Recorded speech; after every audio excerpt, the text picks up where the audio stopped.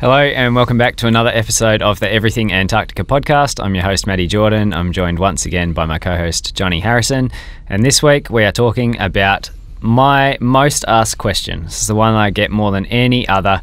So much so that we've also decided to write an ebook on the matter. But if you prefer to get your information through podcasts and audio, we're going to talk today about how to get a job in Antarctica. So, Johnny, it's a very loaded question, but how do we get a job in Antarctica? You just apply online, and then next thing you know, you're down there, right? Cool. That's how it works. End episode. yeah.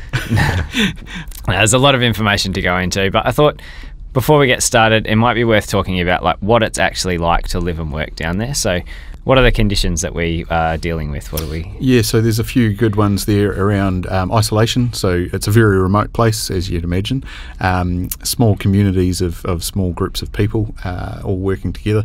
A lot of different skills and, and uh, different types of personalities and people. So you've got um, you know scientists that come down. You've got all the support people that go and help them out in the field. You've got cooks. You've got people that are doing cleaning. You've got uh, tradespeople. So it's a very diverse group of people. Some of the best things is about it is going down and meeting such diverse people and hanging out with them, right? Definitely, yeah.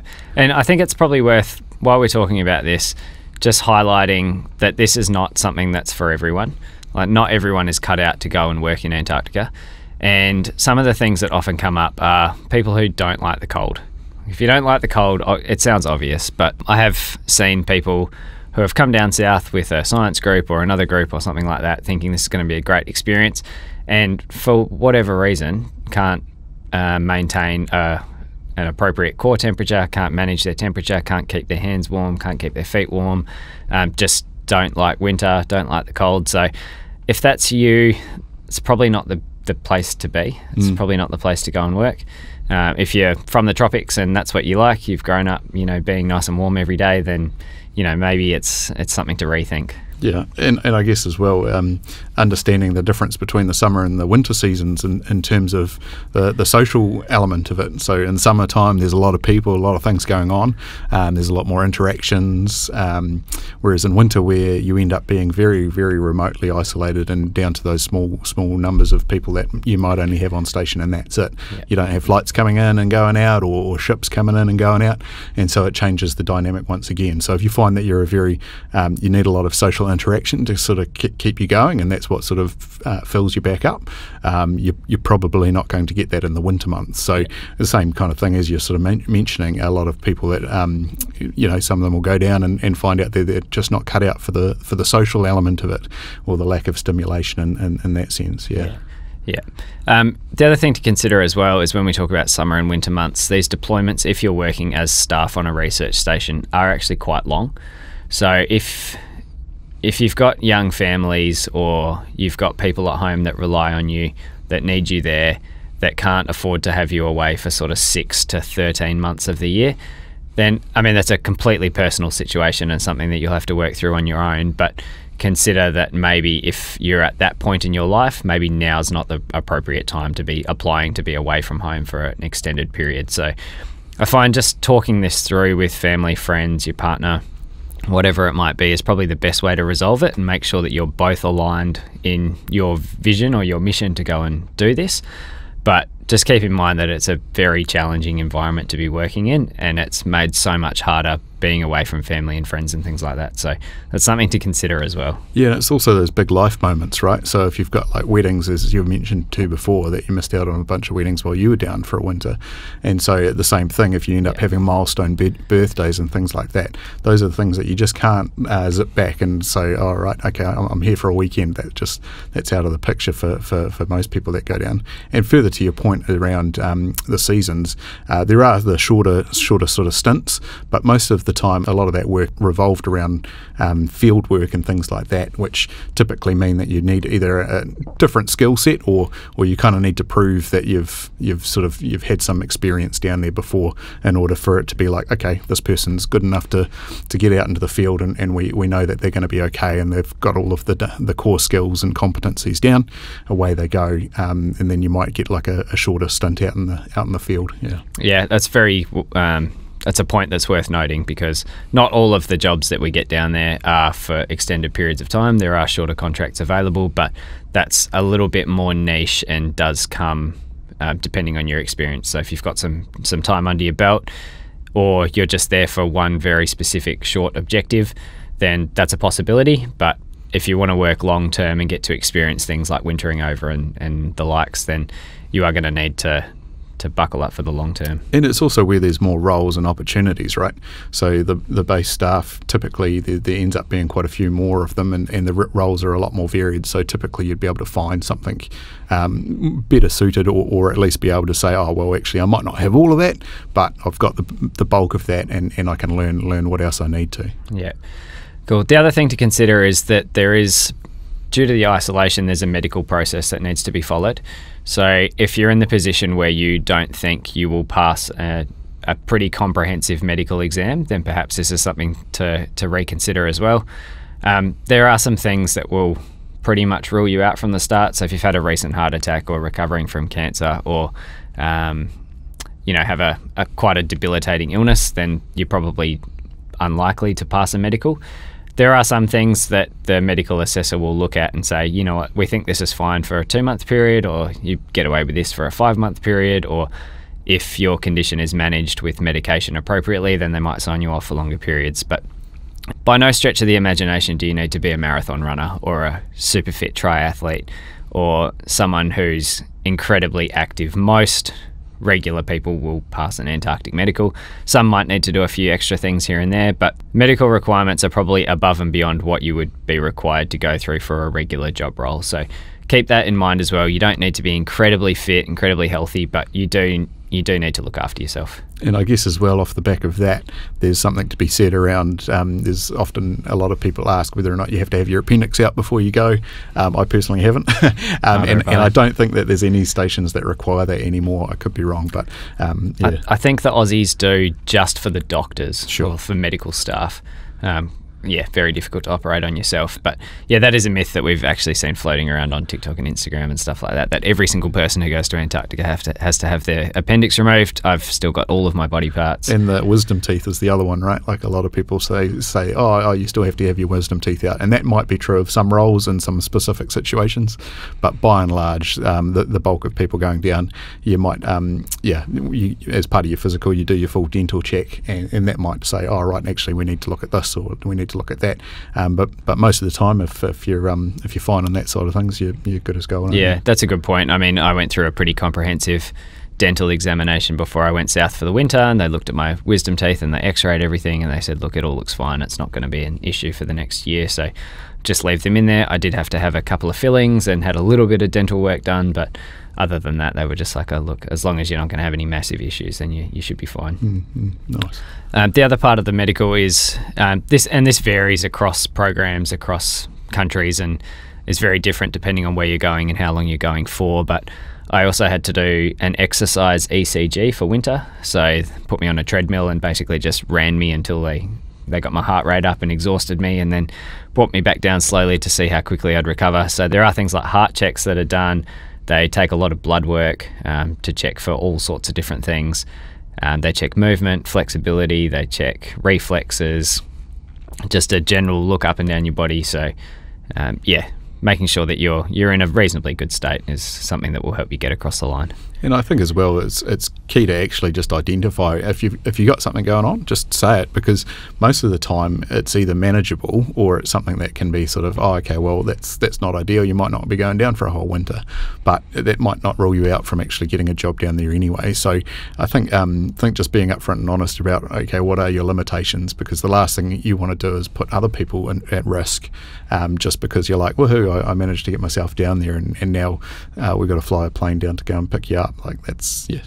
Yeah, and I often get asked as well about the, the mental side of things. So whether they do uh, like psych evaluations and things like that. And when I started my job, I went through a psychometric evaluation, which was just generally answering some questions and making sure I'm kind of sound of mind. I'm not sure um, what it's like for the seasonal roles, but um, for the full time stuff, that's what I did. Went through a general test, and they went, "Yeah, look, sounds good." Yeah, I, I see they don't do that when you come back from a couple of winters.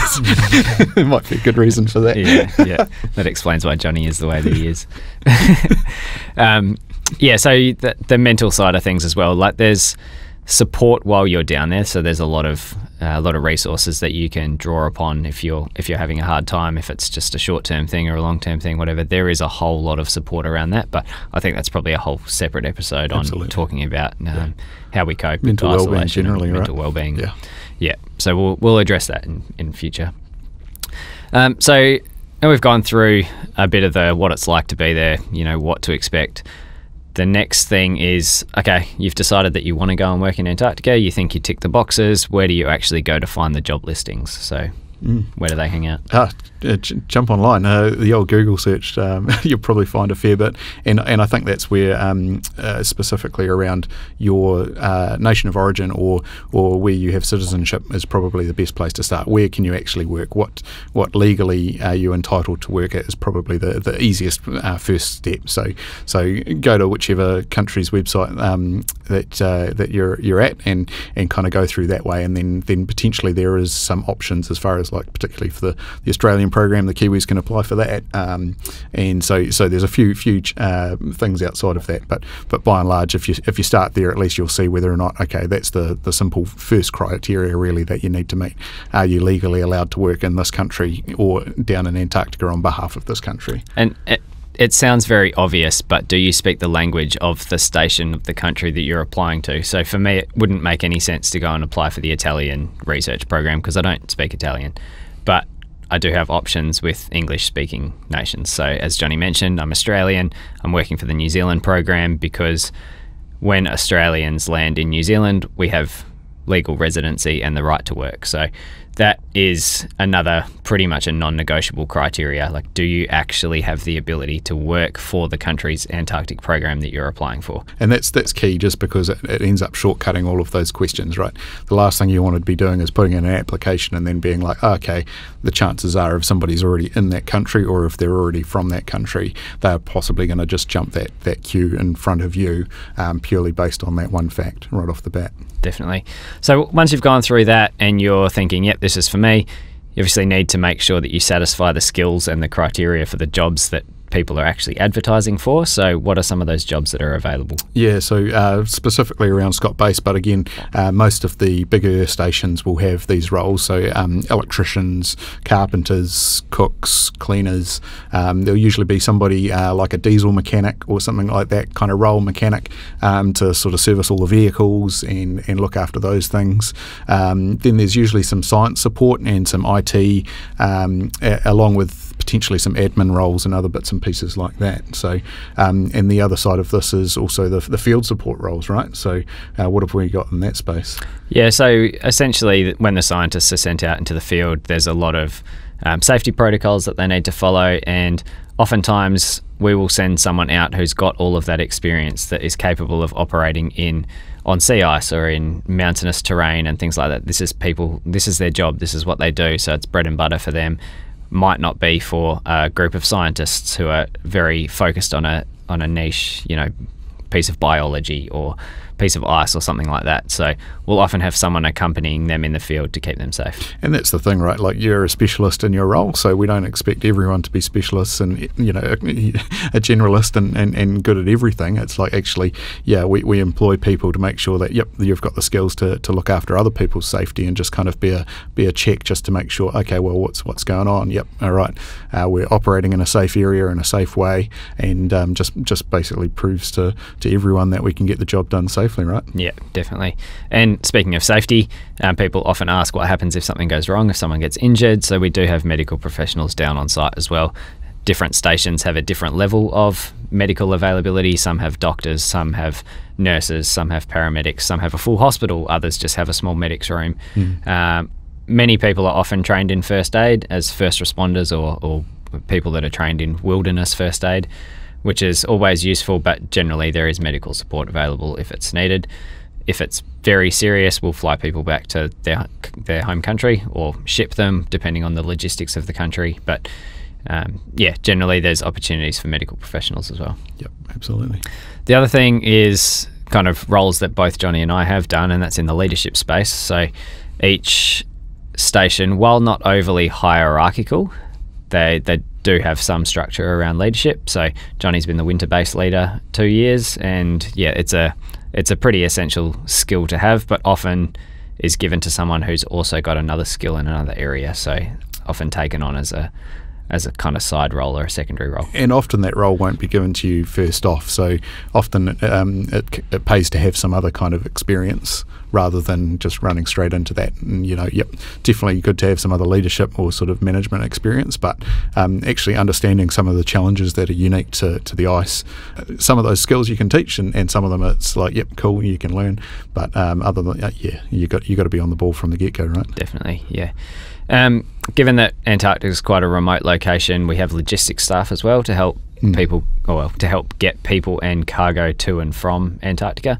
So there are a few logistics roles available in the airspace, so with air cargo, air freight, air passenger movements, and also in the in sea sea logistics, so shipping cargo, shipping people, all the the things there. So that again varies station to station. If you are based on a continental research station in the middle of Antarctica, you're not going to have to deal with sea logistics. However, if you're on the coast, then that is potentially an option. And that also opens up uh, roles for, for boat operators or or um, uh, flight mechanics and, and other things like uh, pilots and bits and pieces like that. So there there really are such varied roles. And then I guess the other side of that is um, the whole thing of, of runway support. So yep, how do we actually get these planes down there and, and, and even down to um, machine operators and things like that to groom the runways and prepare them and grade the roads and, and just look after the general day to day power plant. Clear you know, snow. there's just oh, there's there's so many different things yeah. that, that need to be done down there. Absolutely. And speaking of flights, um, that's not just the physical assets that we need to support flight logistics. It's also the intangible things or the tangible things that um, some people are very specialist in, like meteorologists. Like, what's the weather doing? How do you predict if it's going to be a good enough day to go outside or to land a plane or to get a ship in or things like that? So, um, meteorological personnel are available on, on many stations as well. Yeah, and the key, right? Because uh, it's um, you can't do much in Antarctica if you don't know what the weather's doing. So it, it uh, does provide such a, a, a, crucial role. Definitely. And then if we look towards the hospitality space, so Johnny touched on chefs and things a little bit uh, earlier on, but food is kind of the lifeblood of an Antarctic research station. This is the time when people come together to talk about how their day was, whether they need support from other people, generally just to catch up and just chit chat. So, chefs, very, very important when it comes to, to feeding the base and keeping morale up.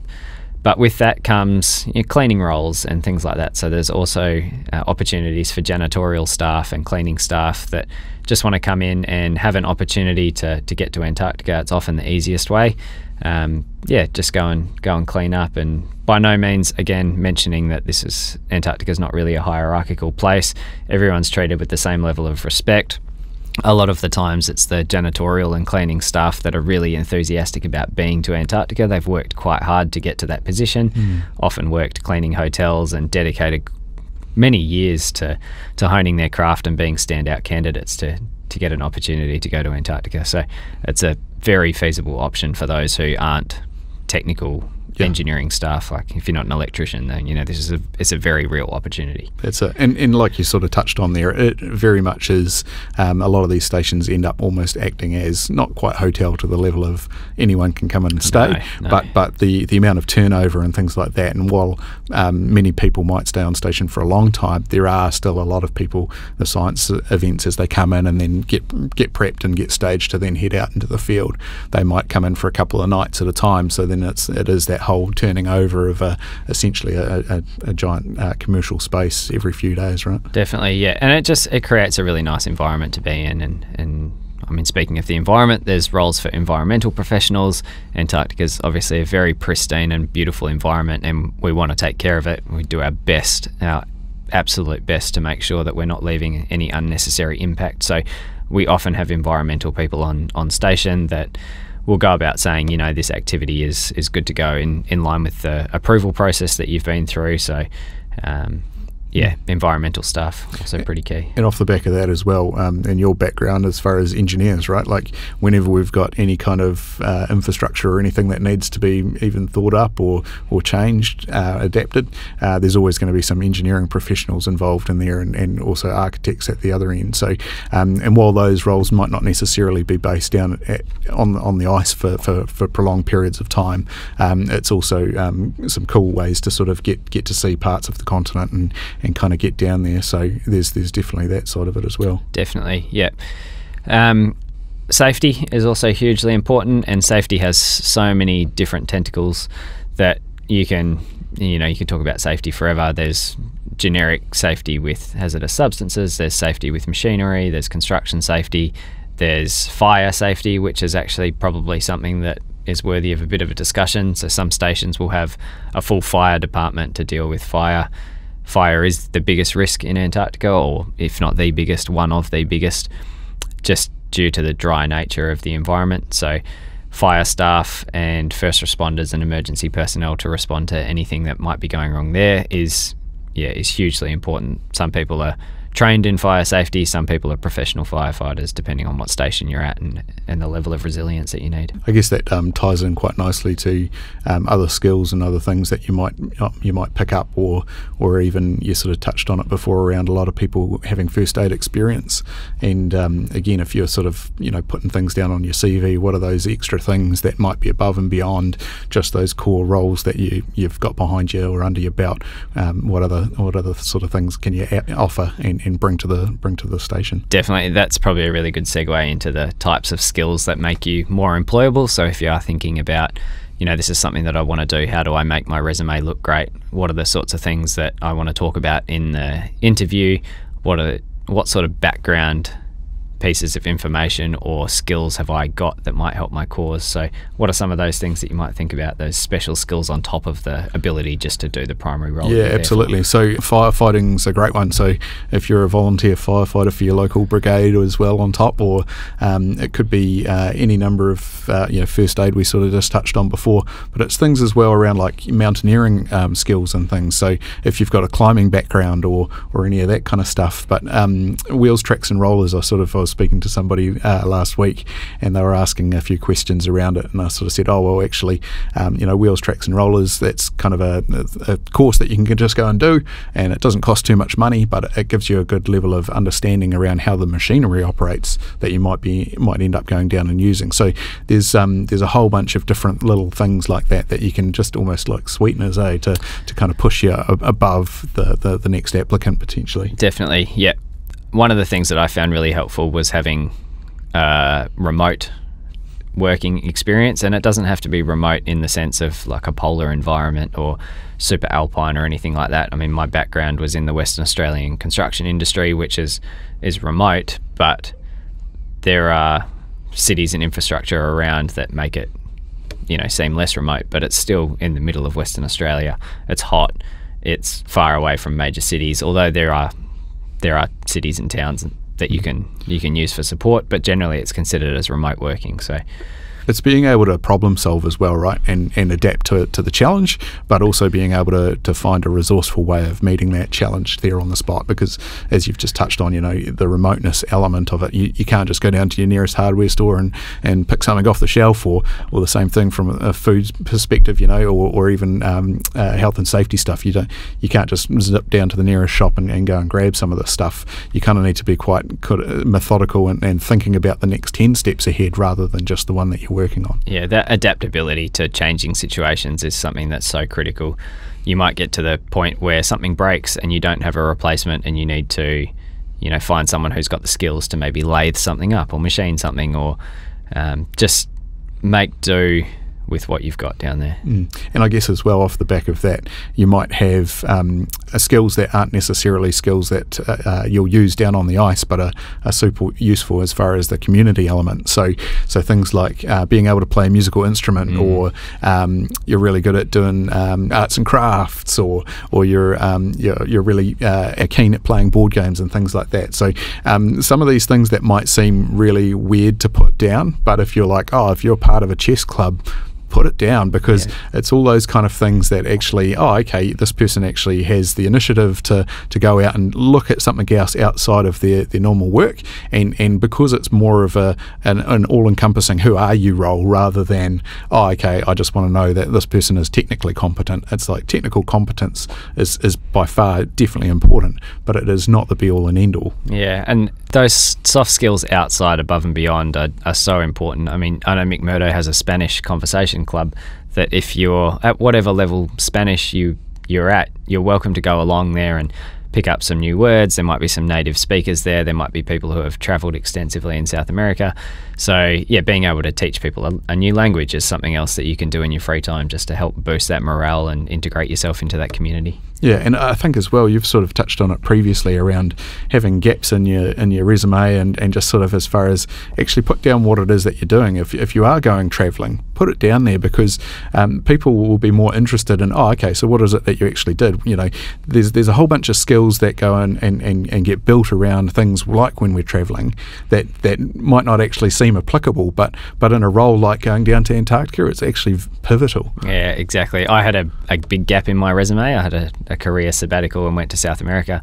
And I initially wasn't going to put that on my resume when I applied because I'm like, I, you know, it was a holiday, but it wasn't really. There were a whole lot of other skills that I learned how to be resilient in quite complicated situations and how to find your way through and persist through problems and the ability to have something come up in front of you and go, you know what, I've got the attitude where I know I'm going to be okay and I'm going to push through this and have the desire just to get to the other side is massively important. And highlighting that, it shows that, you know, it wasn't in a work environment, but that mentality of, you know, let's find a solution, let's make this work, let's get to the other side of it with a smile on our face is things that people look at that you wouldn't re- regularly think about for a typical job interview, but just showing that ability that you you want to get stuff done and that you're you're a good person and you're the right person for the role is is massively important. And just on that, so that's character skills, right? Like, and and and that's one thing that a lot of people won't think is actually uh, hugely important. But it is how do we interact with people outside of work? How do we, um, you know, what what clubs, what might we be a part of, or, or what are those social situations that we find ourselves in? Um, if, if you're if you're running something, you know, put that down. If you're part of part of a group of people that meets on a regular basis to look at something, put it down because what what's the worst that can happen? It's like oh well, this person seems the recruiter says that it's irrelevant. That's fine. They they may think that, um, but but more often than not um, showing that you can be part of a community and be be you know entrenched in that um, is is huge. Definitely, and especially those leadership roles in those community groups as well. So, it, I was a part of Surf Lifesaving in Western Australia, where I used to spend my weekends down at the beach just looking after people's safety, and that ticks off you know leadership. You're teaching younger people about ocean safety. You're helping the community by being there, providing support. Doing you're, risk analysis in risk real time. analysis. You're dealing with you know, emergency responding personnel, you're calling ambulances if things go wrong, you're putting yourself in quite stressful situations at times. So, all of those sorts of things that aren't typically what you would highlight in a job application are things that are so critically important. Mm. Another thing that you really want to have and that Antarctic programs want to see is a genuine interest and desire to work in Antarctica because of Antarctica itself, not because you want to do it for for the money or any other reason genuinely you need to want to work in Antarctica. You need to have an interest in science. You need to have an interest in the environment. You need to, you know, support the research and the science that's happening around climate change. You need to understand these sorts of things if you're not in that boat, then working in Antarctica is probably not for you. You will 100% get asked the question, why do you want to go to Antarctica? And if you are not ready to answer that, you probably aren't ready to go. So, um, absolutely listen to things like what we're doing here around giving you more information around what, what actually is going on. Find as much stuff as you possibly can. Read on the history of Antarctica and understand what's going on today and just dive straight into it because the more you, more you learn, the more fascinated you become by it, I find. Yeah, if you can go into an interview and someone asks you, why do you want to go to Antarctica? And you say, I was inspired by Shackleton's Nimrod expedition, or I was inspired hearing the story of Sir Robert Falcon Scott and Roald Amundsen's race to the pole and how that went down. If you were inspired by Borchgrevink's expedition being the first group of people to winter over in Antarctica, just saying those lines in the last 30 seconds will light up a recruiter's eyes and know that you know what this person's actually genuinely keen. They're not just doing this because they think it might be fun for six months. Yeah, because a lot of the recruiters uh, are also, you know, really keen on Antarctica, and, and that's one of the reasons that they've got their jobs, right? Is uh, partly so they can go down themselves, but but also um, just to sort of help actually shape what you know what the crews will be going down going forward. So um, yeah, there's there's not many people that you talk to about Antarctica that go away afterwards and be like, oh yeah, well that was great, but I'll never do it again. Um, there's so so many more people that just absolutely light up, and and the more you know, the more you want to know. Definitely. Another thing is that just because you don't have one of the specific roles that will get you into a position working on the research station, there are multiple support staff back in the home country that work to support the people that are on the ground. And not all the time, but occasionally opportunities do come up for those types of people to go down and have a look. So, as Johnny was just speaking about, if you are working with a recruiter who works for an Antarctic program, to understand the nature of the environment and to understand the base that they're working in and to understand the dynamic between people, chances are that person's had an opportunity to go to Antarctica. Mm. So you don't necessarily have to be part of the staff that's there. There are short term deployment opportunities that will open up for support staff who have been working for an Antarctic program for a while and need to understand the nature of the research that happens down there to be really effective at their job. It's all about that context, right? And so that's so pivotal for building in, in any organisation. And so if you can actually get people down to actually understand what it looks like in, in person, that's just invaluable, right? Absolutely. You know, if you've got logistics staff that are dealing with sea cargo, for them to understand how difficult it actually is to offload containers or to, you know, bring resupply food and you know things into the research station, then that's important information for them to have because when the conversation comes up, they've got the context, they've seen it, they've been there, they've lived it. So there are opportunities for those support staff. So don't write those off either. Yep, too good. Nice one. So there are many countries that hire people to work at their research stations, and we often get questions about you know, I'm from X country, can I apply to work in Antarctica? Or I'm from Y country, do we have research stations? So, what we're going to do is we're going to talk through all of the countries that have research stations and highlight those that have polar programs as well that might be able to get you down there. So, if you are from Argentina, Australia, Belgium, Brazil, Bulgaria, Chile, China, the Czech Republic, Ecuador, Finland, France, Germany, India, Italy, Japan, the Republic of Korea, Netherlands, New Zealand, Norway, Peru, Poland, Republic of Belarus, Russian Federation, South Africa, Spain, Sweden, Ukraine, United Kingdom, United States, or Uruguay, your country has an Antarctic program. If you are from Canada or Mexico, you also have associated Antarctic programs without research stations. If you have the legal right to work in any of those countries, then there is an opportunity for you to get to Antarctica. That's incredible, isn't it? You think how much of the world that actually covers? A massive portion. Yeah, so cool. There are a lot of opportunities out there, folks. So, to summarize, if we start from the start, the first thing you want to do is work out if you have the legal right to actually work in the country that you're that you're applying for. Make sure you can speak the language make sure you fit the criteria for the job roles that you're actually applying for. Go to the website, work out if they hire people that have the skills that you have got, and or if there's a, a job requirement that you could cross train in. See if they have a jobs page. If they don't, contact the organisation and find out where you go to apply for these roles. Some countries have contractor organisations that do recruitment or run the program, so it might not be exactly where you might think to go and look for these resources, but just reach out and they'll point you in the right direction. Review the job description and make sure that you actually satisfy what they're looking for. If there are things that they don't need and you don't have the skills, go and get them so that you're ready when job applications open. If you've got other skills that might be useful that aren't specifically asked for in the job ad, also put them down. You never know, you know where that might get you. Prep your resume send it off, write a cover letter if that's what your National Antarctic Program wants, highlight the skills that you've got, send your application in, talk to your family, friends, partner, make sure it's all good to go, and then good luck to you. One last final thing is um, don't be discouraged if you if you don't get through first go. Like I didn't get get in my first turn, and I know that you didn't either. And so I think that um, that's one of the things. Uh, uh, ask for some feedback and kind of get get the get the why. And once you've got the why, go and go and work on it. And you never know, there might be some stuff that you can just sort of sharpen up in the next year, and then then go again. And good luck to you. Definitely. One of those other things that the Antarctic programs look for is that persistency. You know, are you resilient? Are you going to continue to apply despite setbacks? Because it shows them, you know, that this is actually something that you want to do. Too good. Nice one. Cool. Thanks for listening to this week's episode of the Everything Antarctica podcast. This is a question that we get all the time, so we really hope we've done this justice for you. We've got a feeling this is going to be quite a popular episode, so to cover that off and in case podcasts are not how you digest your information, we've written an ebook. It's free. We'll post a link to it in the comments down below. Go and get it, go and read it. It will provide a bit more information than what we've covered on here today. But please go and read the book, listen to the podcast, share this with your friends, let people know.